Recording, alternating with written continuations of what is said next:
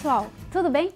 Eu sou Camila do Pensando Contrário e hoje eu queria contar para vocês um pouco sobre a minha experiência com o cru de veganismo. Bem, o que é cru de veganismo, primeiramente, né?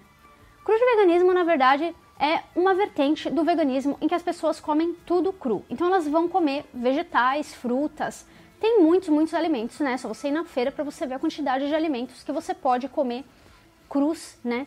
Claro que a gente não sabe muito bem, hoje em dia a gente esqueceu alguns alimentos que a gente pode comer cru, por exemplo, abobrinha. Uma vez eu coloquei uma salada de abobrinha no Instagram.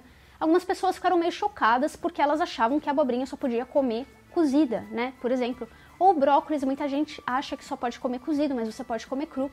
Então tem muita coisa que a gente pode comer cru e eu queria testar isso, eu queria saber como que é, se ia me fazer bem ou não. Isso porque, né, pessoal, eu andei pesquisando um pouco sobre como que a alimentação poderia melhorar a minha saúde, principalmente porque eu tenho diabetes do tipo 1. Quando eu virei vegana, a minha diabetes ela melhorou muito.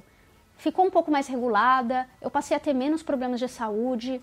E aí, por conta disso, eu pensei, será que eu posso ir além do veganismo? Eu posso fazer algo que melhore ainda mais a minha saúde? Claro que sempre respeitando os direitos dos animais.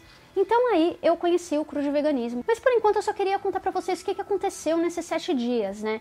Se foi bem, se eu passei muita fome, se eu me senti bem. Eu queria também saber se ia melhorar a minha diabetes, porque inclusive eu li livros sobre isso, né? Sobre como o cru de veganismo poderia ajudar na, no controle do diabetes, ou mesmo curar no caso de diabetes do tipo 2.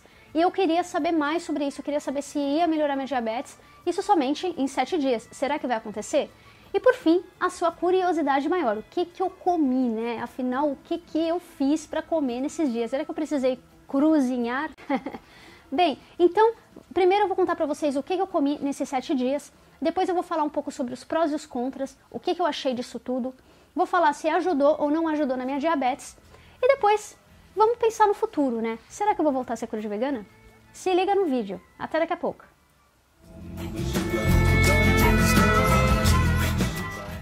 Bem, então primeiro eu queria falar um pouquinho para vocês sobre o que eu comi no meu café da manhã crudo vegano nesses sete dias, né? Basicamente eu comi muitas, muitas frutas, né? Vocês podem ver esse aí um, um do, dos dias, né, de café da manhã da semana. Eu comi duas bananas, uma maçã inteira, morangos, mirtilo e também comi linhaça. E tem duas colheres de sopa de linhaça que eu deixei de molho por 12 horas. E isso facilita o trabalho do liquidificador, porque eu vou fazer uma vitamina e também isso ajuda a liberar o ômega 3 da linhaça, né? Porque você precisa bater a linhaça para comer o ômega 3. E aí depois que eu bati tudo isso, inclusive tem canela ali, eu fiz uma maravilhosa vitamina que deu mais ou menos um copo desses e meio.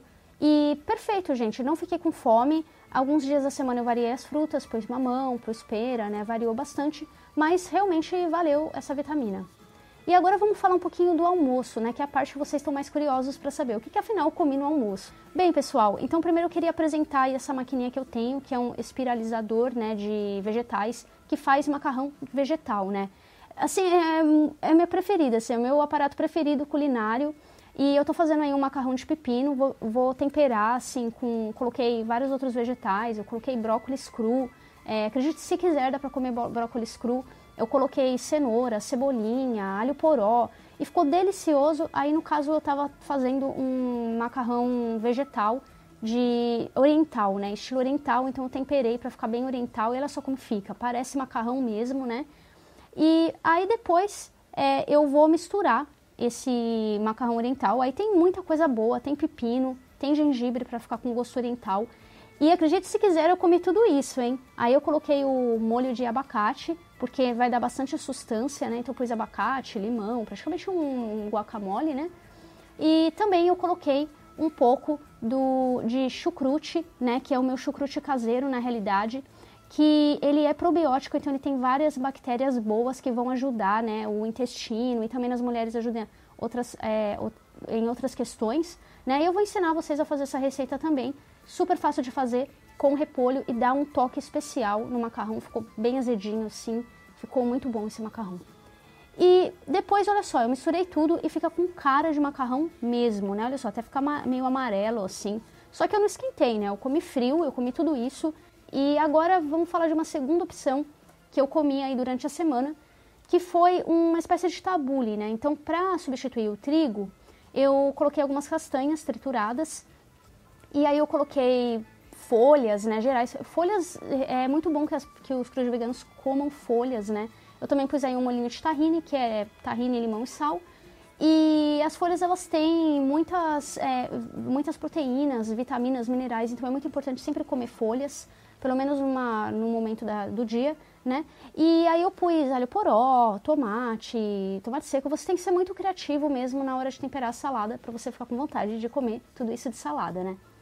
E essa aqui é a minha opção preferida, né, da semana, que foi um macarrão cru de vegano de abobrinha com um molho branco cru de vegano, né, gente? Que aí eu fiz com castanha de caju e também abobrinha que eu baixei no liquidificador. Temperei com noz moscada. Ficou assim, gosto de molho branco mesmo, gente. Sensacional.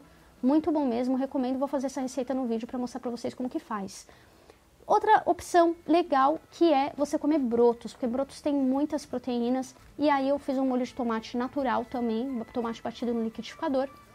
E outra opção também foi outro, outro tipo de salada aí, né, gente? Essa, essa salada aí, ela tem castanha do Pará, ela tem nozes, cenoura. Aí eu fiz um molinho básico, básico de azeite com limão e sal. Então, basicamente, no almoço eu comi foi salada, saladões temperados com molhos gordurosos como abacate, você pode usar tahine, você pode usar outros tipos de manteigas vegetais que você faz em casa. A ideia mesmo é que no almoço ou na janta, se você preferir, você coma os vegetais com gorduras e deixe o carboidrato para outras refeições. E agora vamos falar da janta. Afinal, o que, que eu comi na janta? Na janta eu optei por frutas. Então aí eu comi melão, né, meio melão. Eu também comi duas nectarinas inteiras, mais tâmaras. E geralmente eu tô tentando agora fazer a minha janta cru de vegana, né? Porque o meu café eu continuo mantendo cru de vegano. O meu almoço não é cru de vegano, eu como arroz feijão, tento comer sempre uma leguminosa e um cereal. E no, na janta eu como frutas, né? E eu tô comendo mais frutas do que isso que eu tô mostrando para vocês. E pasmem, não faz mal para minha diabetes, realmente é impressionante como, é, pelo menos no meu caso e no caso de muitas pessoas que eu pesquisei, frutas não fazem mal à saúde, né? O que faz mal é você misturar gordura com carboidrato, que eu vou falar em outros vídeos mais pra frente. Bem, pessoal, como vocês viram, né, eu até que comi bem, né? Eu não passei fome nem nada, né? Eu comi vários tipos de macarrão cru de veganos, que é fantástico, eu amei essas receitas, mas eu queria falar um pouquinho para vocês. Ajudou ou não ajudou na minha diabetes? Foi bom ou não foi bom? Em apenas 7 dias. Será? Bem, eu queria dizer para vocês que ajudou sim, pessoal. Eu achei assim, eu fiquei impressionada como em apenas 7 dias a minha diabetes melhorou muito mais. E aí vocês vão se perguntar, ué, mas então por que é que você não continua, né? Porque já, algumas pessoas já me perguntaram nos comentários, né? Se eu sou cruz vegana, eu não sou cruz vegana, meu almoço é cozido, eu como comida cozida, eu como arroz e feijão, eu como quinoa, eu como grão de bico, eu como essas coisas. E muitas pessoas vão se perguntar, então por que que você parou com a, essa alimentação, né? Eu queria contar para vocês, na realidade, é que durante esses sete dias eu, eu medi tudo que eu comi e eu coloquei isso num app que se chama Chronometer, que eu vou deixar o link da descrição aí embaixo, que é super bom para você saber o quanto de proteína você come, o quanto de gorduras, carboidratos, minerais, vitaminas. E eu percebi que nesses sete dias eu não conseguia completar, nunca conseguia completar as minhas proteínas. E aí eu fui pesquisar sobre isso a fundo, eu queria saber, afinal de contas, né, por que, que eu não consigo? Será que a dieta cruz vegana é uma farsa? E eu descobri que, na verdade, as pessoas cruz veganas elas têm que comer muito mais para suprir as proteínas, né, que, que, existem também nos vegetais. Tem brócolis, couve-flor, tem vários vegetais, tem fruta, mas aí você precisa comer um pouco a mais para você suprir os, todos os minerais, vitaminas, proteínas, né, é, gorduras, inclusive, porque você come bem pouco gordura. Então, nesse caso, pessoal, eu teria que comer mais. E como eu tô morando num lugar que não tem muita fruta, então todas as frutas estão verdes, eu não tenho muito acesso à fruta, acabou que eu não conseguia, eu ficava com muita fome em alguns horários e não tinha fruta. Em outros horários eu comia demais, eu não conseguia comer mais, e eu precisava comer mais, eu precisava comer mais salada, por exemplo, eu precisava comer muita salada mesmo, mais do que esse, esse potão de salada que eu comi. E eu achei, eu pensei, mas é muito, eu não dá para fazer isso. Eu prefiro voltar pro meu arroz e feijão e não precisar comer tanto e ver o que acontece com a minha diabetes. Bem, e por fim, né, pessoal, eu só queria dizer que eu acredito super nessa dieta. Eu não sou nada contra essa dieta. Eu até acredito que algumas pessoas elas não vão conseguir. Eu acho que não tem problema nenhum de você optar por um veganismo que tenha comida cozida, não tem nenhum problema eh, nisso. Aliás, eu só queria dizer também que veganismo não quer dizer natureba. Se você quer ser vegano, quer comer muito fast food, se você quer comer muito hambúrguer, coxinha, você pode, porque veganismo é tudo. Veganismo, gente, não é uma dieta. Veganismo é um movimento de libertação animal. Então, se você se importa com os animais, não se preocupe, você vai poder comer o que você quiser. Só que na versão vegana tem de tudo: tem bolo, tem brigadeiro, tem coxinha, tem de tudo mesmo. E se você quiser uma linha mais natureba, você pode fazer uma linha natureba do jeito que eu tô fazendo, ou você pode também optar pelo cru de veganismo, que eu acho assim que realmente eu me senti muito melhor nessa uma semana. Eu vou voltar a fazer no futuro esse, essa dieta aí cru de veganista, porque veganista, né? Nem existe crudivorista, né, gente? Cru de vegana. E eu vou contar mais pra vocês como que foi. Então é isso aí. Seja vegano ou vegan, porque os animais merecem um mundo melhor. O planeta merece, nós merecemos um mundo melhor. Então vamos lutar por esse mundo. A mudança começa na gente. É isso aí. Não esqueça de curtir, não esqueça de se inscrever e comente se você tiver alguma dúvida. Até mais.